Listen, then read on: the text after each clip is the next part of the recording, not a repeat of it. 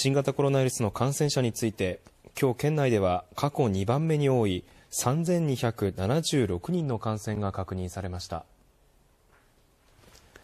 感染が確認されたのは仙台市で1816人石巻市で192人名取市で127人大崎市で126人多賀城市で92人栗原市で89人など合わせて3276人です。県内で1日に確認される感染者数としては先月29日の3711人に次いで過去2番目の多さとなっています。年代別で見ると10歳未満が最も多く579人10代が389人20代が452人30代が528人40代が521人